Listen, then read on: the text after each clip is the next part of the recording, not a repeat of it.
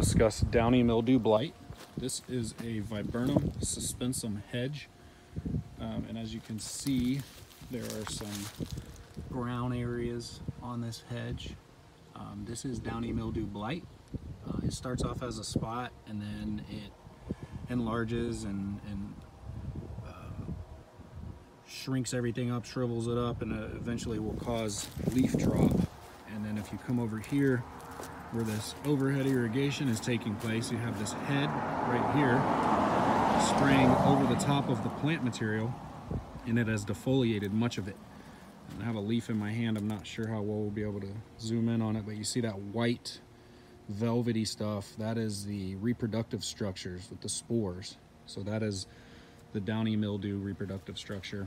Um, a good idea is always to keep the overhead irrigation off of the plant material, keep it as dry as possible. Downy mildew is a water mold, so this will require water mold specific fungicides for, for good control. But uh, fixing those cultural conditions is gonna be important as well.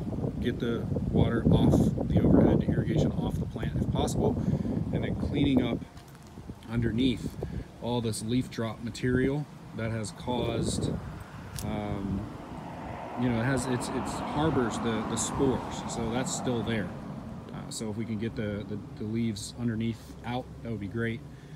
Um, go a long way into to controlling this disease. Um, so anyway, that is downy mildew blight.